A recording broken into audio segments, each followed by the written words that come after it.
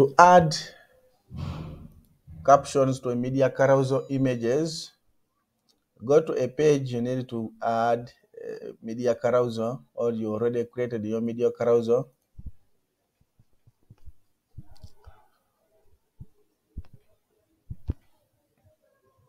For example, this is mine. So what you do, come and create a media carousel down here. Uh, add here the paddings. After adding the paddings, come to the search widget, search for media, media carousel, so this one here. Drop it there. Then select the images you need, image one, two, three, four, five. Select the images you need to use. For example, we'll need to use this. These are just random images. These are random images, so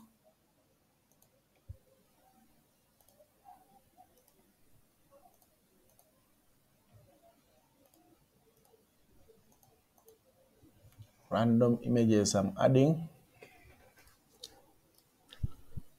So you can style them. Uh, for example, you can increase the height.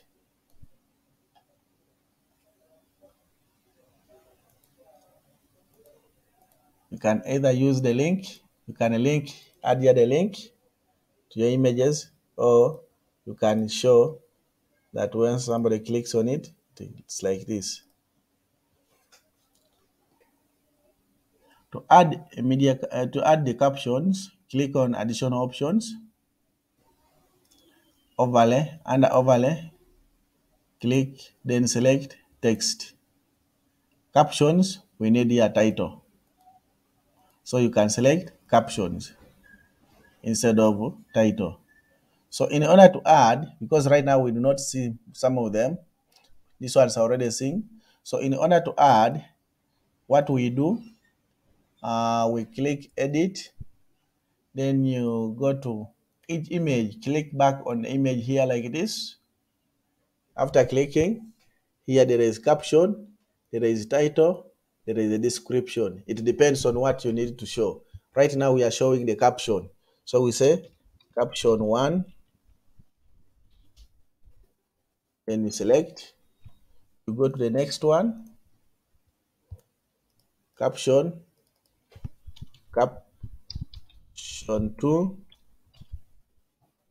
you select go to the third one caption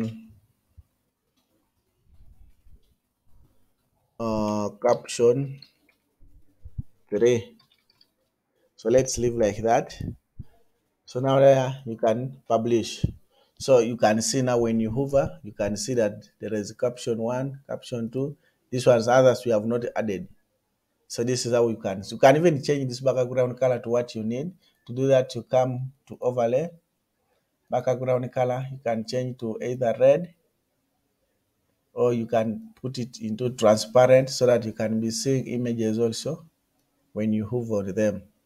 So this is how you can add captions to carousel images or logos, thumbnails, etc. Please subscribe to my YouTube channel. Thank you.